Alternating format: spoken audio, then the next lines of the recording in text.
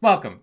By the end of this video, you'll be able to download and install the free music software LMMS on your computer. This will work for a PC or a Mac. Let's get started.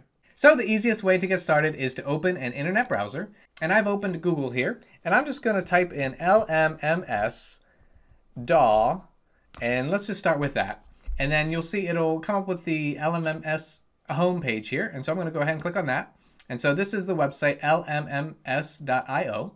And you can see this is where you can make you can download it, and it's a free cross-platform tool uh, that you can use on your computer.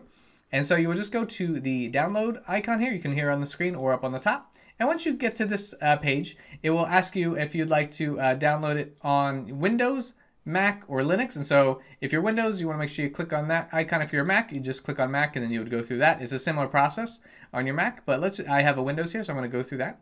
Now, it's going to ask you if you want to do the 32-bit or the 64-bit. Now, in order to find that on a Windows, what you do is you go over to your settings. So go to your Windows and then settings, and then you want to click on System, and then scroll down, and then you want to click on About.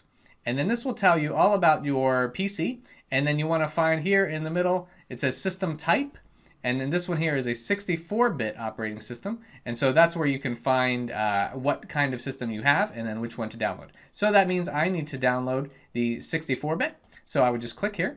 And then once you click there, it will start to download.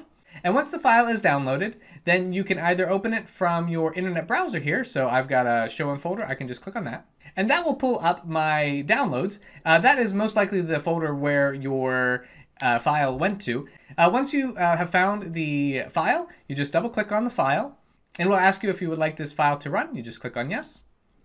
And then it will walk you through the setup wizard here. And so you just keep uh, clicking on next. You will have to agree to the uh, license agreement and then where you would like the file to be placed. It will also tell you how much space is required and how much space you have available. You just click on next if everything's looking okay. And then uh, you have a folder. Um, and then if you don't want it to create a shortcut, you just click on this. Uh, I'm going to go ahead and click install. And then once uh, you click on install, it will uh, go ahead and install LMMS onto your computer. And once it's finished installing, it will let you know that it is finished. So you just click on finished. And then in order to start the file, you would just go over to your start menu and then just click on recently added LMMS, or you can just uh, click on uh, the L here, and that will also bring you to LMMS, and just click on that. So once you open LMMS for the first time, uh, it will give you the, the general settings. And uh, uh, for right now, let's just keep these uh, as they are uh, set for the general settings. If we need to change them later, we can. Uh, you can change your language if you need to.